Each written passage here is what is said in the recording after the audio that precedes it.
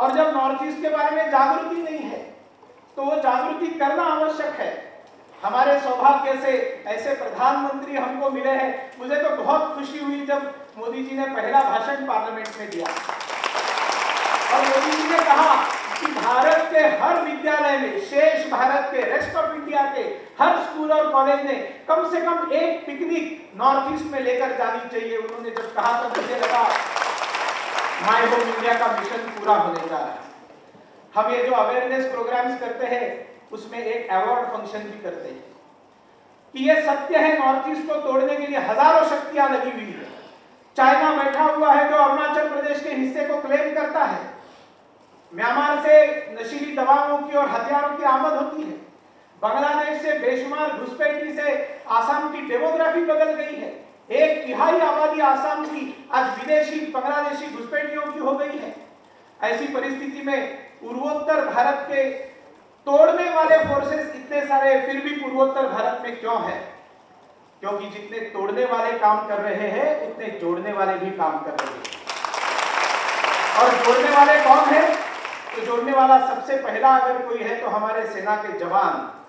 आज तक भारत स्वतंत्र होने के बाद नॉर्थ ईस्ट में लगभग पचास हज़ार जवानों ने अपने प्राण का बलिदान किया है नॉर्थ ईस्ट को भारत में टिकाए रखने के लिए। लेकिन सिर्फ़ भूमि भारत, भारत में रहकर लोग भारतीय नहीं बनते हैं उनके मन को भारतीय बनाना पड़ता है।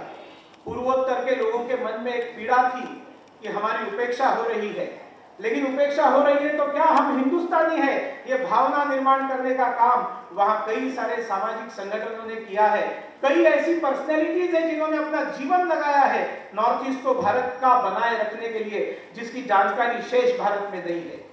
तब माई होम इंडिया ने पुरस्कार की कल्पना की। मुंबई में शुरू किया वन इंडिया अवार्ड देखिए, ये वन भी कितना कल्पनात्मक शब्द है O N E our north east इनका पहला पहला अक्षर उठाइए वो वन होता है। Our north east India is one India India cannot be one without our north east ये संदेश देने के लिए। एक ऐसा पुरस्कार हमने प्रारंभ किया, जिसने सारा जीवन नॉर्थ ईस्ट में भारतीय राष्ट्रवाद के लिए लगाया है। हमने पियोंग तमजेन जमीर जी को अवार्ड दिया मुंबई में। जमीर जी ने अपनी ज़मीन बेच दी ज़मीन के ऊपर हिंदी विद्यालय खड़ा किया और नागाओं को हिंदी आना चाहिए, इसलिए अपना सारा जीवन लगा दिया। वो भी गांधी जी के भक्त थे। ईसाई थे। उनको विरोध हुआ। तुम ये क्यों कर रहे हो? तब उसने, उन्होंने बताया कि मेरा देश कौन सा हो और मेरी भाषा कौन सी हो, ये मेरा अपना निर्णय है। इसमें मुझे अमेरिका की आवश्यकता नहीं। और जैसे इस प्रकार के 200 नागा ग्रेजुएट्स हिंदी में पियोंग तमजेन जमीर जी के विद्यालय से निकले, कितनी बड़ी बात है।